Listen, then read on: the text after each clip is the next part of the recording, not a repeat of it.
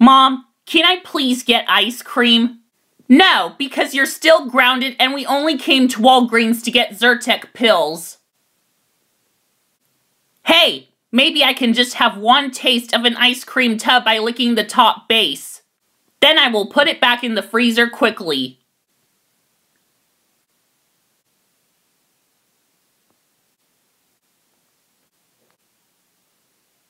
And where do you think you're going?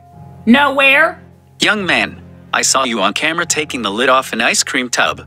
You licked the top base of an ice cream and put it back in the freezer to make it look like it was still untouched. That is very sickening of you to do in a store like that. It's illegal to put your mouth germs on food for people to eat that don't notice your germs. I am calling the police and you're going to jail. I'm very sorry. It was just a harmless prank.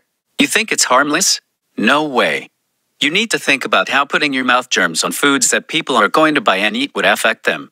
Someone buying the same ice cream with your mouth germs on it can get them sick without them noticing your germs thinking they actually got sick for no discernible reason. Young man, you're under arrest for putting your mouth germs on store foods. Get in the police car right now. Billy, how dare you are attempting the ice cream challenge at Walgreens? Are you trying to get someone sick by putting your germs into an ice cream container without them noticing? When you get out of jail, I am punishing you for two months.